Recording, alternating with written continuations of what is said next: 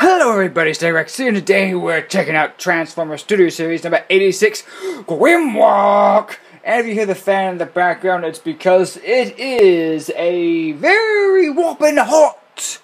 Very whopping hot! And yep, you'll be hearing the fan for a few videos. But anyways, let's get in and check out Grimlock here, and he is very key.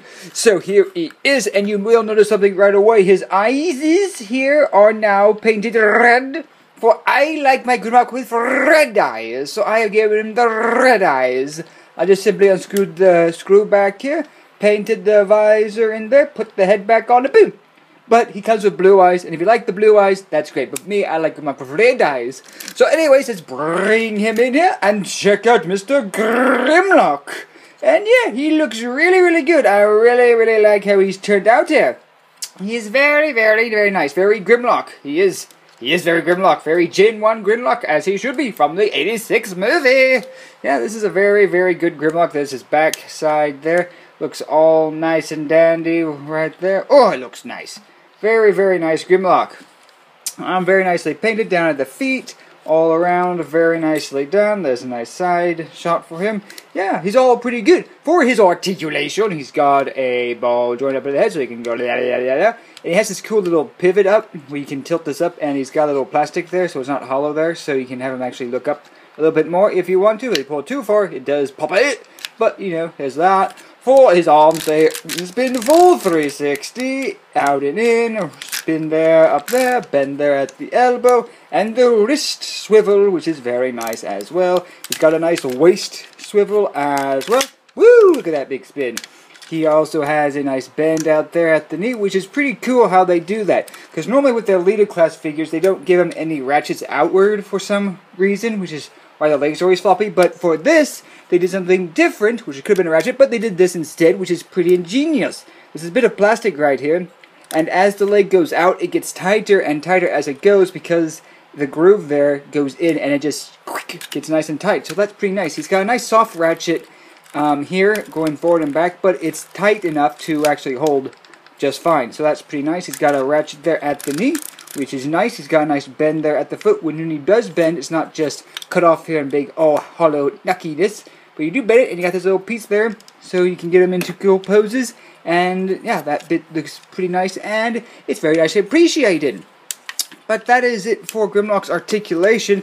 And yeah, he looks all around very, very nice. And he does come with one accessory, being his big old gun here. And it does look pretty cool. Though he is missing a sword, so I got him an upgrade, little upgrade kit, which this is the sword. And it also looks pretty good. You may be wondering, where is the wheelie that came with this figure? Well, I'll put an image of it right here in case you're looking at it. Has no articulation really, just spins here up at the shoulders and there at the knees. And honestly, it's pretty useless to me. It doesn't transform. And I like my Transformers transforming, and yeah, I, I didn't like that wheelie. But the DNA upgrade kit for this Grimlock, which I already pre-ordered, and you can do so to at the Big Bad Toy Store. It comes with an excellent wheelie that transforms, looks amazing. Definitely recommend that upgrade kit. Adds and then it helps Grimlock with the filling up the uh, holes there, which is the only thing I could complain about in this mode, really. And so, with that all out of the way, really quickly, you can just peg his gun, and if you do get an upgrade kit with a sword, you can have them like that, and oh, that looks good, yeah.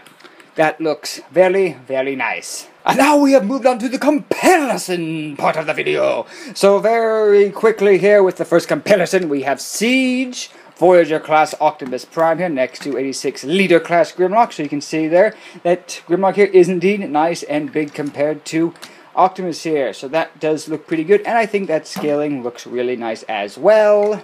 And for the next comparison, here's Power of the Prime Swoop and Power of the Prime Slash. So you can see how these two figures scale as well. I don't have any of the Power of the Primes Dinobots just because they were all too tiny for me. Too small, too tiny. I like big boys, and I'm finally happy to see we've getting the big boys. So there's a nice little comparison there. Though I think Slash works really well with Grimlock. They just look so cute together, don't they?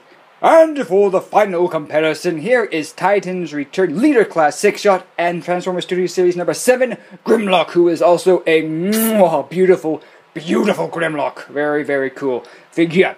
But this is a little comparison to show you the size of this leader class figure with a leader class of 6 shot and number 7 Studio Series Grimlock. And this Grimlock is the shortest out of the three here. He's shorter than 6 shot here and shorter than Grimlock, even if you put the little spiky down there. So I'm only counting the top of the heads here, not this bit. So even that Grimlock is still a wee little shorter, and I would have liked it if Grimlock was just, you know, the same height as Six Shot here or Grimlock here. It would have made him a nice taller figure, and unfortunately nowadays we don't get nice big leaders anymore like Six Shot or even Grimlock here. Grimlock's a nice good size leader figure, and I would have liked it if this guy was the same size as my other boy here. But besides that, yeah, he's a fine. He's, there you go. There's the final comparison.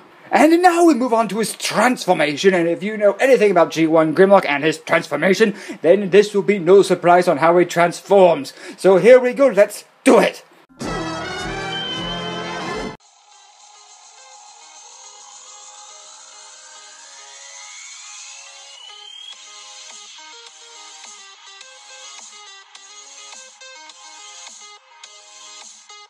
And here we have Grimlock in his T-Rex mode, and it is amazing. I love the transformation on this guy. It's almost like he's transforming from the show. It's very, very close to it, and it's amazing. And very quickly, you can take his Gion accessory here, and I think you can plug it on his leg if you want to do that. That's that's something. But it's got these two little tabbies here, right, right there, and there, and they plug into these two little slots there, there. So if you want to, you can store it on his back if I can do it. Let me just. Eh! Let me do it. Okay, it's very tight on mine, but there you go. You can get it plugged in here on his back for weapon storage if you want to. And the upgrade kit store doesn't really store anywhere, so you can just, uh, yeah. But anyways, with that out of the way, this is an amazing figure, and I also painted his eyes red. And if you want to do this, you just have to unscrew the holes on the side, pop the head apart, and you can easily do the eyes. But the eyes are blue. If you want to leave them blue, no big deal. You know, it's, it's up to you how you want to want your Grimlock to be, but I prefer them with red eyes. So anyways, we'll bring Grimlock in here for a quick overview look at him, and I think he turned out really, really, really nice. I think this is an amazing, amazing G1 looking Grimlock, and he just looks so, so good. Oh, I love it. I love it, love it, love it, love it, love it. The only negative, the only negative thing that I have about Grimlock in this mode, see if I can't get this plugged in there better, there we go, is that he's got these unsightly screw holes on the side of his head. Would have been nice if those were covered up, and hopefully there's an upgrade kit that comes out soon that you can easily seal these up with. But yeah, besides that, this side looks great. So, yeah, but it would have been nice if this side was also covered up. But besides that, that's pretty sweet. Also, Grimlock was missing forward teeth, which I also got an upgrade kit, which came with a sword, by the way, to fix this problem as well. So, yeah, Grimlock looks way better with those forward teeth, and I highly recommend getting an upgrade kit just for that, if that bothers you like so me. But anywho, let's go over our Grimlock's articulation. Up here on the head, he can look up and down. I love that. I love it. I love it. Love it. His mouth can open and close. And if you do have a blast effect from the siege line, you can plug it in right there, and he can be like, so you can have a bean shooting a big old bean there. And he's got a ball joint here up in the shoulder. He can bend there at the elbow. And he can rotate a full 360 down to the legs. Nice bend as well. And it's also ratcheted, though on my side, this side is not ratcheted. This side is. This side isn't. Um, would have been cool if there was ankle pivot here, but it's fine. Um, the clawsies can still move in this mode. And the neck here can spin full 360. So all around a very nice posable Grimlock here. And if you want to get his tail off the ground, what you want to do is use these back claws here to tilt them ever so slightly. And wha-bam! You can get Grimlock standing with his tail completely off the ground. And first up for comparison here is Grimlock next to how the Primes Dinobots that I've got. So you can see how they scale there, and I do think Slash scales pretty well with them still, just because Slash is a raptor, and being this small, I think it works perfectly. So there you go with that. Next up, we have Siege Optimus Prime with Grimlock here. You can see how they scale. And Grimlock in this mode still stands taller than Optimus, which is nice. You know, he's not too short, not too big. And I think that still works pretty good. So you can see there. And this is Grimlock standing at full pose if you get him up all the way. so you can see that, you know, how tall he can be if you have him up all the way. And finally, for comparisons, we have Transformers Studio Series number 7 Grimlock next to Transformers Studio Series number 86 Grimlock, and you can see them right here. And I will say that the number 7 Studios Grimlock has definitely longer, you know, his tail's longer. Um, for standing up wise, um, Grimlock here actually is taller than uh, number 7 Grimlock here. Um, but you know, if you tilt them, they're pretty much the same height.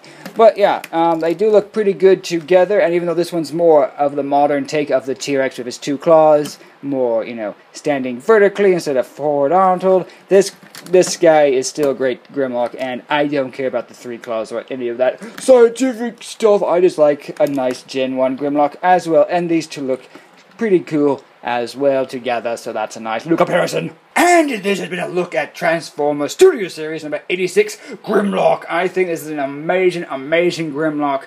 10 out of 10, 10 stars, gold medal, all the medals, just give them everything. Truly a master masterpiece. I think this is a beautiful Grimlock figure. Oh, I love this Grimlock. I get jitters, I get happy every time I see this Grimlock, especially in the pose I have right now. It's just so cute. This is a great figure. Oh, it looks amazing. I love it. I love it, love it, love it. And I'm very excited for the rest of the Studio Series 86 Dinobot line. Oh, I'm so happy. Are you excited? Let me know. And now I'm going to go hop in the refrigerator because I am melting. And I hope to see you the next video. Stay cool out there. And goodbye, everybody.